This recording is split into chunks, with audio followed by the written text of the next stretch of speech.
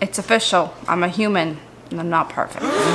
Pretty sure we all knew that already though. Typically, I would never put a day like this online. I shouldn't say never. It's not fun to be vulnerable and open up about things that you struggle with online because we're talking hundreds of thousands of people that can just weigh in and frankly the internet tends to use it to make people feel less than. Being vulnerable online can definitely become a weapon. I know days like these are really hard for me. In the past, I handled the situation in a very negative way. I'm making this video because maybe if I had a video like this to watch, I would understand that it's normal to feel this way. I just think I would feel less alone. With all that being said, yesterday was the first time in 23 days that I binged which in reality should be something that I look on and say, that's progress because before starting my fast food journey and before the new year, I was binging every single day, if not sometimes twice. My health was in a very steep decline. I don't know what switch got going in 2023, but I'm just so determined to live a different life this year and to really try and change. When I saw Sierra do her no fast food challenge, I said, this might be exactly what I need. I can't even begin to explain what this challenge has done for me. Just because I'm not eating fast food doesn't mean that my eating disorder goes away. And the past couple days, I've just genuinely been like overwhelmed in both happy and sad ways. Like I'm so grateful that I've been doing so well with my mental health, but at the end of the day, I suffer from depression, anxiety, ADHD. There's more that I'm in the process of working through diagnoses of that maybe one day I will share, but just because I have a good couple of weeks doesn't mean that those problems are just gone. 2022 was just full of depression episodes. Usually the day after I binge, I'll either overeat again just because I already ruined it, so why not keep binging? Or I punish myself by not letting myself eat. I don't think that either of those are the healthy, correct response. I laid in bed until 12 today because I felt so shit about myself. I very much so have been focusing on the fact that I messed up and I was doing so good instead of thinking about the fact that I went from binging every single day to doing it once in 23 days. And it was just on food in my pantry. I think what I'm taking away from me binging last night is I need to dedicate more time to myself. I've been so excited about everything everything happening on my TikTok and on YouTube and just the love that I have felt from you guys that I think I failed to take human moments. Nothing good is gonna come out of today if I make it another bad day. I binged, it happened. The way I react now is what's gonna determine if I go down the same path I've gone down a million times before with this eating disorder, or I can take a step in a direction that I genuinely have never really taken before, which is healing. The path of healing is always harder than the path of destruction. It sucks, but that's the truth. I don't know, I'm just really over it. I've been preaching to you guys about being 1% better every day, and for me to choose to throw away everything that I've worked for this month month because I binged a singular time would be, that would be me going against everything that I've been telling you guys. I don't want to be someone that comes on the internet and doesn't practice what they preach anymore. So as scary as it is to vlog your hardest days, I think those are the videos that are going to have the most benefit. I don't want to be putting out stuff on the internet that is pointless. Every once in a while, I'm gonna make y'all laugh. but I think there's a deeper meaning to the reason I was given a platform. And if it means putting myself out there in my most vulnerable states, sign me up, I guess. When I came downstairs this morning, my kitchen was a mess. A lot needs to be cleaned. I think that's a part of what built me up to my moment yesterday. I need to prioritize certain things better and just get on a better schedule. So today we're gonna clean everything. I'm gonna try not to sit down because I've learned once I sit down, I pretty much don't get back up. I'm gonna be very gentle with myself today and be very intentional today about the things that I'm doing. We're gonna make some fun food. I'm gonna get my clothes put away. I'm gonna take a nice shower. It's gonna be great. Even though inside my brain I'm so angry with myself. If I feed into those negative thoughts, I'm only gonna end up in the same place that I've always been. You know what they say, the definition of insanity is doing the same thing over and over again and expecting a different outcome. I'm gonna try and do something different today in hopes that it leads me down the path of a different outcome. If you're someone that struggles with your relationship with food or any type of ED, even though a lot of EDs are different, I do feel like we all share the same kind of thoughts and struggles. You're not alone. I love you, bitch. Even though it can feel incredibly isolating and lonely. I'm gonna make breakfast and I'm gonna try and come up with some fun thing to make for dinner. I'm still gonna take care of myself today because I don't deserve to be punished for one bad moment. I already cleaned my kitchen, you'd be so proud. She's looking quite good. The rug is still sitting there from when you guys watched me switch it out. We gotta change that. If you look around, there's just things that need to be cleaned. If you only knew the amount of clothes that were upstairs waiting for me to put them away. I definitely have a days full of activities and tasks. I'm in a mental battle at the moment. The difference is, is I'm actually gonna try and win it this time. I I guess I should make breakfast. One hour later. As soon as I turned off the camera, I just got sad. I'm gonna make a coffee because making coffee makes me happy. I turned off the camera and I got really sad because I feel like I'm trying so hard. And I should feel so good. And I have been feeling so good. I know today is just gonna be hard because I'm mad at myself. I just wish I was normal sometimes and didn't have these struggles. But maybe if I was normal, I wouldn't be able to make videos like this and to help you guys and make you feel less alone. Oh my gosh. Coffee brings love to the soul. I never leave beans in here because I think that they're gonna go stale. It always makes a mess. Let's just swipe them off. I've been going to coffee shops every single day, so I haven't made my own coffee in a while. It's always so therapeutic, but I've been cutting back on caffeine, so I refuse to have two cups of coffee a day. Does decaf espresso exist? Let me know. Then I could make a coffee at home and then go to the coffee shop. Or I could make my caffeinated latte at home and just get like decaf coffee at the coffee shop. Here she goes. Yeah! A spring-loaded tamper was the best thing ever. I wiped off my puck screen with a towel. How are you supposed to clean this puck screen? Because mine gets full of fuzzies. Do I have enough water? Oh, why is it green? Oh, absolutely not. Wait, I don't think you're understanding. Um, I think I have to go on Amazon and order a new filter. Had this for so long and that's never happened. You know, I'm so glad I looked at that. You guys do realize I would have just made my coffee with that water? Wait a damn minute. I was supposed to change that in September. Maybe that's why. Can you guys remind me in April to change this again? I'm gonna clean my machine and I'll be right back. Ran her through a little clean cycle. That's why we always look before we make coffee. You're never gonna believe it. I was able to make a coffee. This isn't very good though. At least I stuck to it and fixed it. I almost gave up for a moment. That's the whole premise of this video, I guess. Don't give up. Anyways, okay, I need to eat something. I beg to differ. Even though it's far past breakfast time, I'm still gonna make breakfast. I've been loving avocado toast. Not even just forcing myself to eat avocado toast. I've been loving it. Loving it. I haven't hated avocado toast, but I haven't enjoyed it. I feel like I've truly perfected my avocado spread. It's probably nothing groundbreaking or revolutionary, but it actually tastes good. I struggle with the texture of avocados, and for some reason when I make it this way, the texture just doesn't bother me. Look how tiny she is. Peel the avocado, peel the avocado. Moment of truth. Look at how good this avocado looks. Scooping out avocados is so satisfying. Also, I've learned the hard way, if you don't rinse avocado off of things almost immediately, it never comes off. If you don't like the texture of avocado, you have to mash until you don't think you can mash anymore. Do the avocado smash. Let's do the mash.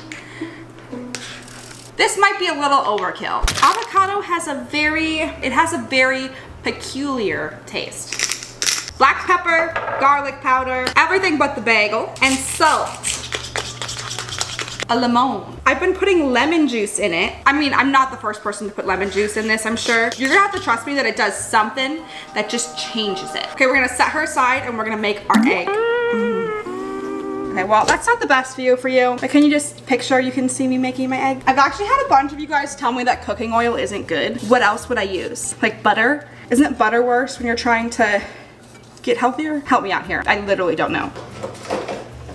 Do you see this? This is a fresh carton of eggs. I haven't ate a full carton of eggs in like over a year and a half. One, my parosmia made eggs not taste good. And two, I just never cooked at home. So unfortunately the eggs would always go to waste, like most of the food that I'd buy from the grocery store. And that is not who I am anymore.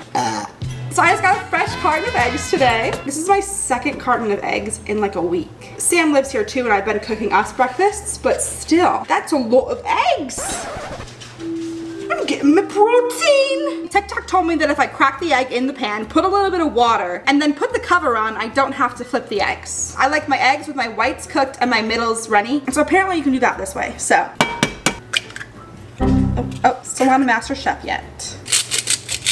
I might be over seasoning my food. In my mind, it makes me feel like it's more from like a restaurant if it's seasoned well. Do I let it cook a little and then put the cover on? I'm just waiting, waiting, waiting on my egg to bake. Should I just do it now? It said to put a little water in the pan. So let me show you how I make it. A few moments later. Oh shit. Do you see this? That's a cooked egg. Toast. Oh, I didn't put the shabakadu. Oh my god. I'm just unwell. Want to know what I actually should put on here? Because I haven't yet. I only have one left. Chicken, sausage. Okay, I know you're not supposed to use metal, but this is what I have right now. Wait. Y'all are literal geniuses. I need to trust you more. I've never made it in sandwich form before. Weenie! Oh, the yolk is cooked, you guys. Oh, absolutely not. I must have left it in there too long. What did I just make? This went from like the best avocado toast to the most makeshift avocado toast you've ever seen. It's like an avocado toast sandwich. I want to be eaten. A little Cholula never hurt nobody. Some good shit. I have to keep being productive. I just have to keep moving. No sitting.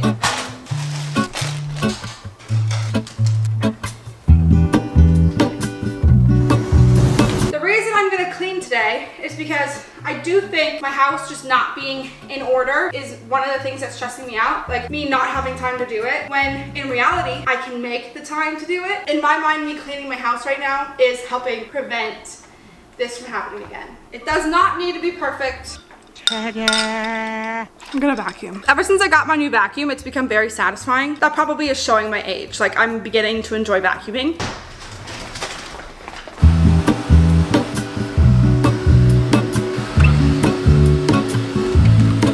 You're gonna break your teeth.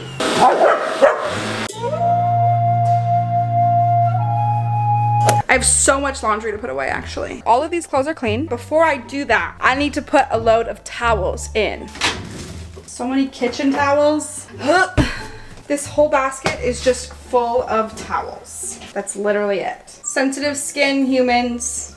This is really good. I'm actually almost out of this. I can probably do like six more loads.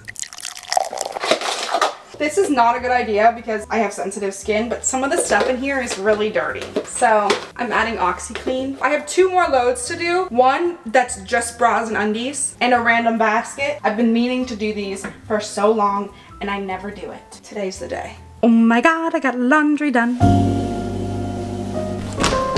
All of these are clothes that I have to put away. I need to get better about accepting help. Before Vlogmas, so before December, I was uber depressed. Career-wise, I didn't know what I wanted to do because I just didn't have a passion for creating content anymore. I think you guys could tell that also. I was also just going through a lot in life and it was just a rough couple months. And one of the things that gets hard with my depression is like keeping things clean. Do you get where I'm going with this? Doing laundry. I had so much laundry to do. It just became so overwhelming to the point where I just didn't know what to do with it anymore. Uploading daily during Vlogmas, I didn't have the mental capacity to be working around the clock and also doing like 18 loads of laundry. So it has just added up to the point where now I'm kind of almost out of clothes. I'm uploading daily again on TikTok and shorts and still doing all of these YouTube videos on top of it. So I was like, you know what? What is wrong with me getting somebody to help me get caught up? Why is that such a bad thing in my mind? So out of curiosity, I looked up how much it costs for wash and fold services and it said it was 250 per load.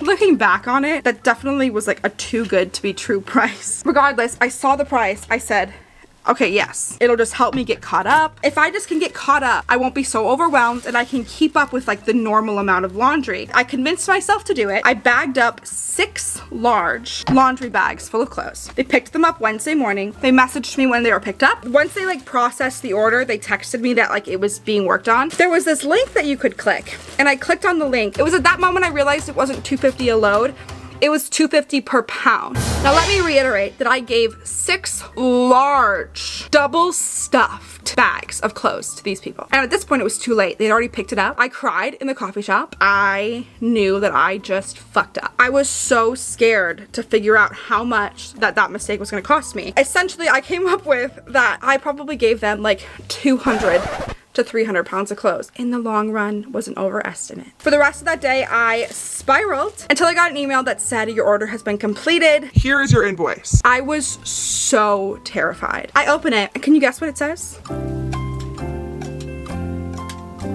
According to the invoice, I had given them 12 pounds of clothes. After tip and taxes, that meant that this mistake was going to cost me $46. I knew in my heart of hearts that, that was not correct because like if it cost $46 to get all of my clothes washed, folded, and I didn't even have to leave my house, realistically six large bags of clothes is like three months of laundry. $40 every two to three months. Like that's too good to be true. Sign me up. I'm never doing my own laundry again. I was already mad at myself that I even needed to do this in the first place. Like it's okay to accept help sometimes if it's gonna make you feel better. I'm very fortunate thanks to every single one of you guys watching this video. I'm able to help myself out in moments like that. I was vlogging when the guy came to drop off the laundry and I had to say something. It turns out he mixed up the orders. My order and a different girl's order got mixed up. She paid for my order and I paid for hers, which also means that my order was washed in baby detergent and hers probably wasn't, which is unfortunate because she needed the baby detergent. He looked so scared like he was gonna get in so much trouble for mixing up these orders and I knew I needed to pay more. Like my conscience wouldn't let me not say anything,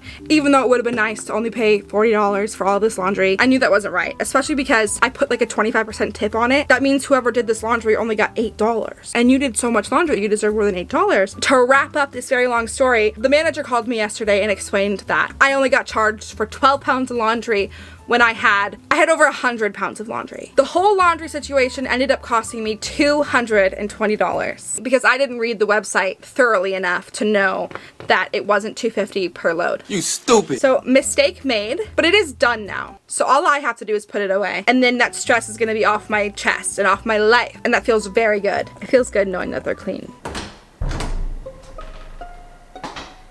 It's been two hours. I think by the way I look, you can tell that I've just been putting clothes away for two hours. Honestly, She's not that organized, but it's all put away and I finally have clothes to wear. Unfortunately, there is more mess to clean up in my room. Also, I'm so hungry and I'm making stuffed peppers. I have an Amazon package. I pretty much live in my kitchen now. I realize there's some kitchen stuff that I would love to have that I didn't have.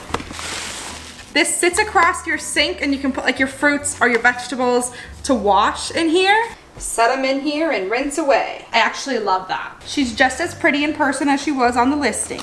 Fun. This is a silicone oven mitt. Since this is silicone, all I have to do is rinse it off. Hair won't stick to it. KitchenAid, they were neutral. Good purchase. This is an alarm clock that zaps you to wake you up. I've been struggling to wake up in the mornings. I don't know why. I don't know if it's the Vyvanse. Like, it's making me have a hard time falling asleep. But I used to go to bed at 2 o'clock all the time. I would still wake up at 7. And now I can't get myself out of bed before like 9.30. I don't really start editing until like 12, which is just not ideal. Granted, I'm doing like double or if not triple the work that I used to do. I might just be more tired. But you guys just wanna see the kitchen stuff.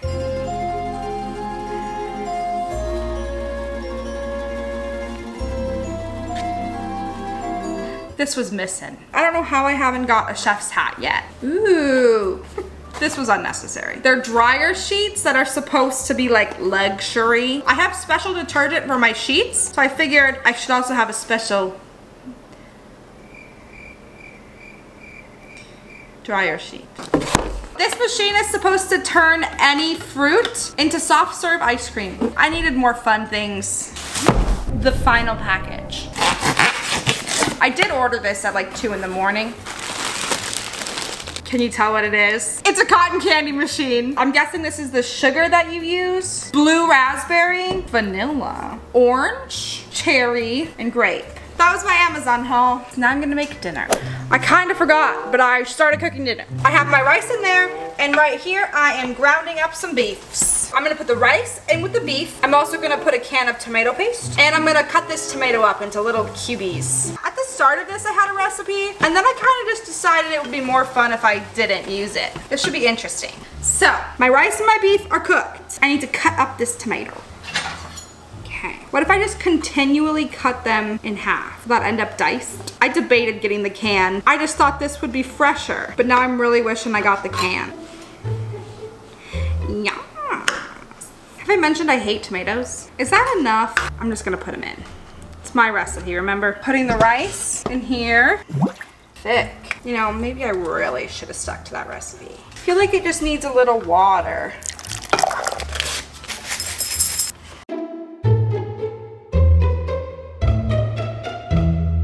I'm pretty sure I can put this in a pepper. The peppers have been stuffed. Time for the final part. Cheese. Parmesan's my favorite, so that's what we're using. Now, all we have to do is put it in the oven.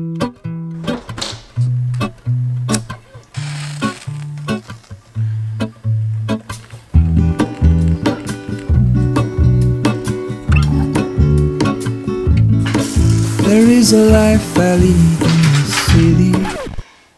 I finally don't stink anymore. We have some news. You tell them. Meghan Trainor followed Samantha. Are you actually fucking kidding? I could have my Louis Vuitton. I was eating my pepper, scrolling through TikTok, because who doesn't look at TikTok when they eat? Okay, I have to be better at that. I saw Meghan Trainor's video of her announcing something to her friends and family, and everyone was so excited, and she said, oh, you guys will know about it soon. I said, no, I have to know about it right now. So I went to her page, and she follows me. Remember like how this whole video I was telling you guys I just haven't been in a good mood the past few days? I'm better now. I've been healed. Later. I don't know that we gave that the full moment it deserved, but what else am I supposed to say about it? I caved and got the arm cuffs that everybody talks about on TikTok. It keeps the water from running down your arms. Despite everything that happened yesterday, today ended up being a good day, actually. I pretty much just cleaned for most of the day, and genuinely that was what I needed to do because I was feeling so guilty just working all the time and not like keeping up with my house. Also, my skincare has changed. You guys brought to my attention that I was using a face wash for people with oily skin. I have severely dry skin. I switched to this one from Youth to the People. The kale and green, oh, it's my mouth. It fucking tastes bad. The kale, green tea, spinach, and vitamins one. Sometimes wiping it off the towel just works better. My goal for today was just to have a better day than I typically do after I binge. I feel like a natural response is to just be mad at yourself. I still felt mad and upset, but I just, I spent today fighting the urge to just give in to my negative habits, my negative tendencies surrounding my ED. I think we did a good job. I got all of the cleaning done that I had to get done. Now I've set myself up to not have to stress about it all week. Like my clothes are put away. That's such a big stress lifted off my shoulders. I'm proud of myself today. If you're wondering, these are the best things since sliced bread. I think I've told you guys that before. The Dr. Dennis Gross little peel pads completely have changed the texture of my skin. Well, that and not eating fast food. It is a little bit later than I wanted to be going to bed. The whole Meghan Trainor thing really just got my adrenaline pumping. Good thing I have my shock bracelet to wake my butt up in the morning. Look how long my hair is getting. Like, this is just my hair. All because I stopped bleaching it and started taking care of it. I mean, I know it's not that long, but it's progress. I've been using the Sunday Riley CEO Vitamin C Serum. Next, I'm using the Tatcha Indigo Overnight Repair. Oh, it's a serum in cream. I use this at night. I like it extra juicy at night. I also just have the world's driest skin. Last but not least, the Clinique Eye Cream. Even though I don't want to spend time on myself today, or I didn't want to spend time on myself today, it's important that you do because you still deserve it even when you're not perfect. Because guess what? You're never gonna be perfect. Newsflash. I've been using this eyebrow serum from GoLab Beauty. Social media has influenced me to buy shit. I'm using the Tatcha lip mask. I just started using this Babe Lash eyelash serum. I've used Grande Lash before and I truly believe I'm allergic to it. Everyone swears it works. I'll update you in a few weeks. Can remove these. And then the only other thing I need to do, let's open this. Comes with a charger.